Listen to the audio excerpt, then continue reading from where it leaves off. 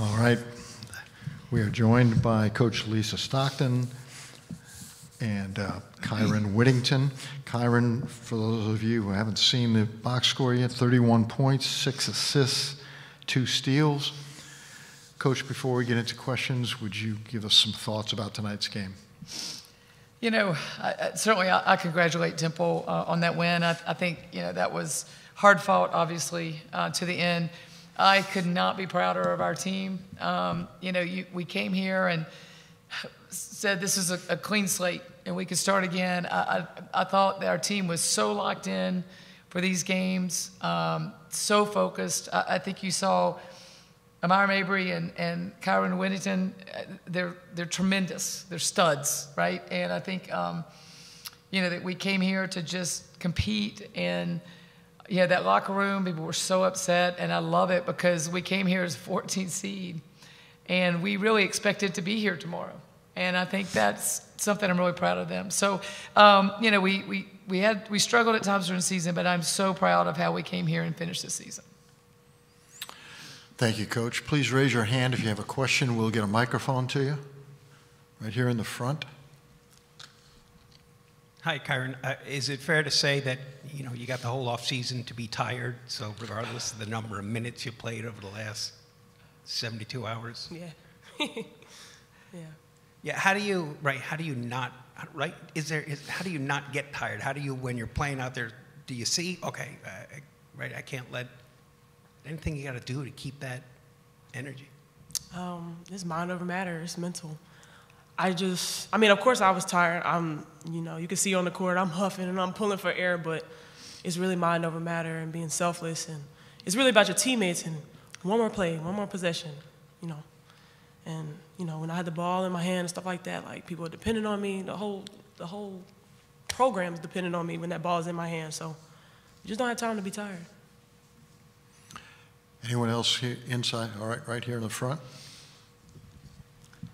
Kyren, I mean, you, you left it all on the floor tonight, and you were carrying the brunt of the offense, it seemed like. Can you take us through what you were seeing from Temple's defense and how you were able to score so easily at times? Um, I think because they were paying so much attention to me and Amira. Um, you know, we had a lot of kickouts. They were doing a lot of um, kind of double teams off the screens where they would kind of almost trap or ice. Um, that backside corner was open, things like that. You know, maybe I had my role or coming off the screen. It just, it's all a read, honestly. But yeah, we had all those options. Go ahead. Coach, you talked yesterday in your post-game press conference about the togetherness of your team and how important that was in the last two games. How important was it and how crucial was it in, going into that triple overtime with the amount yeah. of games you already played previously?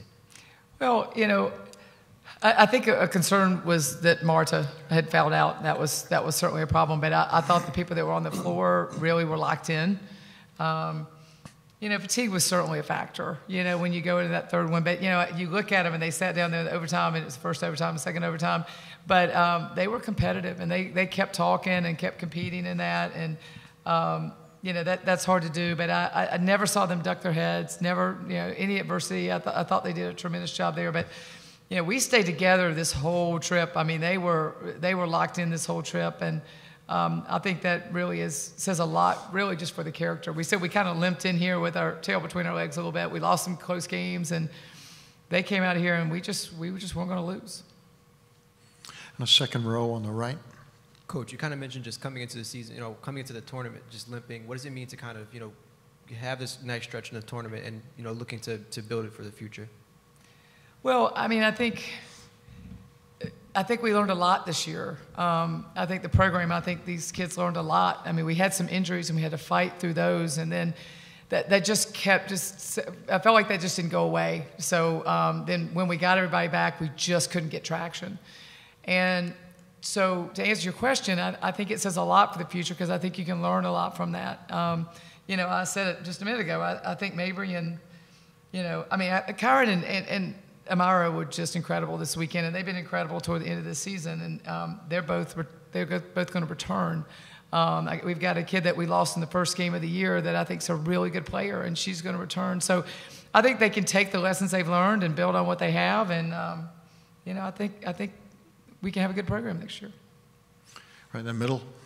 Coach, with 11.9 seconds to go down two, you know, you could play it both ways and make the free throw foul again. Why did you decide to go for the? You know, without the timeout it was hard because we didn't have a timeout. Um, you know, it was it could have gone either way. Um, you know, I just I was worried about the fatigue factor. I thought if we missed that and we could run that down, that would really help us. Um, and you know, it's a gamble, gamble you played. You know, and the the timeout advance thing is so good because 11 seconds is nothing, right? But um, we just weren't getting that ball up the court as fast as we were at the start of the game, so I think that was a big concern. Right here on the right. Uh, Kyren, the free throw where you intentionally missed, was that your call? Was that something you've practiced before? Because it gave you almost a perfect bounce. Well, I do. I do want to say this: is that she wanted to do it before I told her to do it, We and both said uh, you know she she really wanted to do it, and and uh, you know we were trying to get everybody lined up in that, but it was a pretty good miss. It was almost. It was a pretty good miss. Oh. Go ahead.